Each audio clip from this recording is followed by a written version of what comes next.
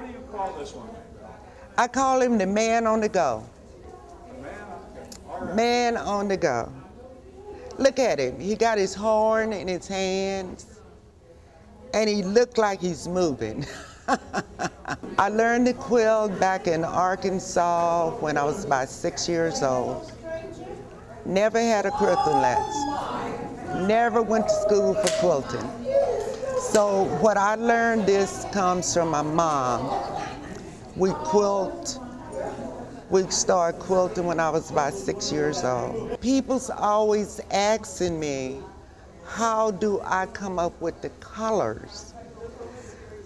But to me, you know, like if I make a drawing, it just, I can just see the color that I would like to put on that. And I don't know what I'm looking for, but I will go out and find the fabric that I can see in my mind that I want on there. Now, this color I don't like. I don't like the yellow color, but it fits him. Right. So, Right. so that's why he got it. It fits him, it fits his horn, and so that's why I like it. And this quilting here, this type of quilting, it's not what people do these days because this is tabletop quilting. This is what we did when I was a girl.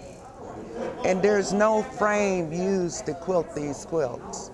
So it's tabletop. But it's a different look. Isn't it gorgeous, you know? And the way I quilt, you don't have to have a style. Right. You, it's your own style. And so many people don't quilt because they can't get everything perfect, you know? And I've taught classes for the city.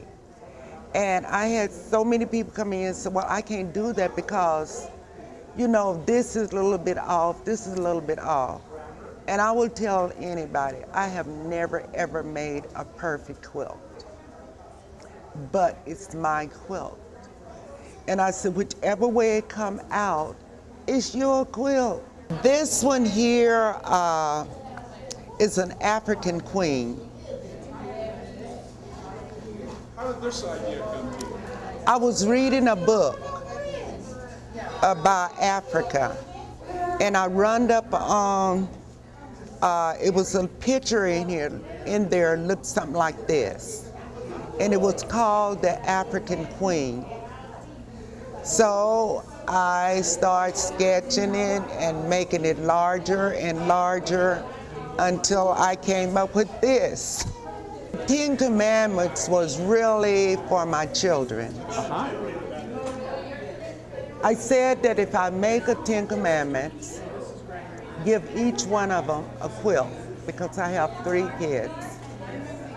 Then if they never go to church, I felt, I told them as long as they keep those Ten Commandments, they'll be okay. Keep it on the bed. When they get up in the morning, they look at those Ten Commandments and try their best not to break one. Because if you break one, you broke them all. I was on vacation in Yuma, and this painting was hanging on a wall. So what I did, I took a pen and I sketched it off.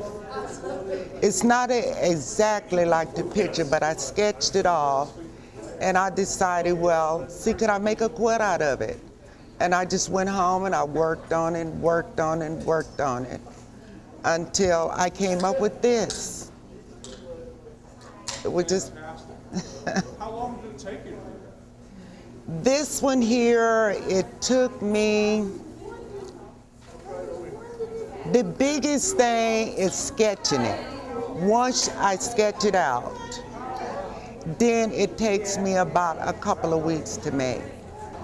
The biggest job is sketching it. And look at all that detail again. How do you how do you find the fabrics and, and so forth to do these things? I goes to the store and I pick out some that I like.